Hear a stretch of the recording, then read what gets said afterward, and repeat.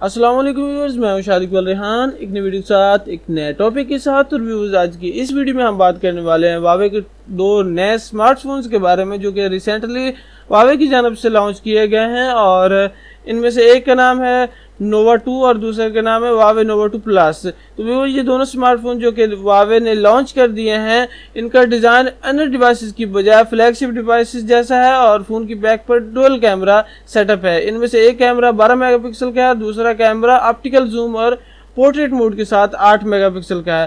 اور اس فون کی اہم خصوصیت یہ ہے کہ اس کا ٹوینٹی میگا پکسل کا فرنٹ کیمرہ ہے۔ نووا ٹو اور نووا ٹو پلس میں دونوں میں ہی میٹل باڈی یوز کی گئی ہے، دونوں میں فرق صرف اتنا ہے کہ ان کی سکرین کا سائز ڈیفرنٹ ہے۔ مین ماڈل کی سکرین پانچ انچز کی ہے اور پلس ماڈل کی screen five point five inches کی ہے۔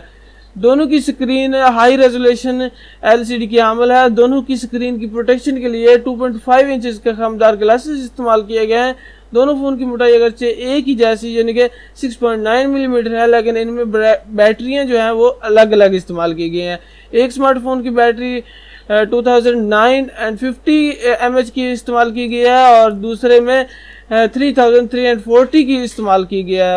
اور واوے نووا ٹو میں فور جی بی ریم اور sixty G four G B storage ہے اور اس کی قیمت پچیس سو یوان یا تین سو پینسٹھ ڈالر ہے۔ نووا ٹو پلس کی ریم فور جی بی ہے اور سٹوریج ایک سو اٹھائیس جی بی کی ہے، جبکہ اس کی قیمت انتیس سو یعنی کہ چار سو بیس ڈالر ہے۔ دونوں کی پری بکنگ جاری شروع ہو چکی ہے، لیکن فروخت کا آغاز سولہ جون سے کیا جائے گا۔ تو ویورز، یہ ایک نیوز تھی اباؤٹ دو نئے اسمارٹ فون کے اباؤٹ نووا ٹو اور نووا ٹو پلس کے اباؤٹ تو ویورز، اگر آپ کو اس طرح کی مزید ویڈیوز اچھی لگتی ہیں تو آپ اس چینل کو سبسکرائب کرتی ہوئی جائے گا تاکہ جیسے میں کنی ویڈیو اپلوڈ کروں، آپ کو فوراً سے وہ ویڈیو مل جائے اور پلس جو نوٹیفیکیشن کا جو بیل آئیکن ہے، آپ اس کو بھی پریس کر سکتے ہیں تاکہ جیسے میں نیو ویڈیو اپلوڈ کروں، آپ کو اس کا نوٹیفیکیشن بھی مل جائے اور آپ فوراً سے اس ویڈیو کو دیکھ سکیں۔